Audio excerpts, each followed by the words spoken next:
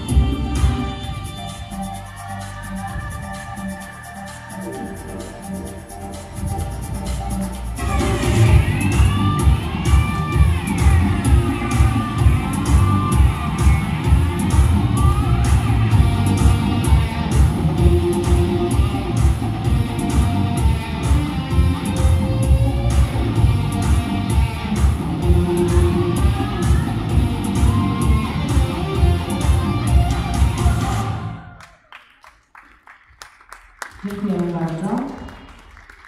Amelia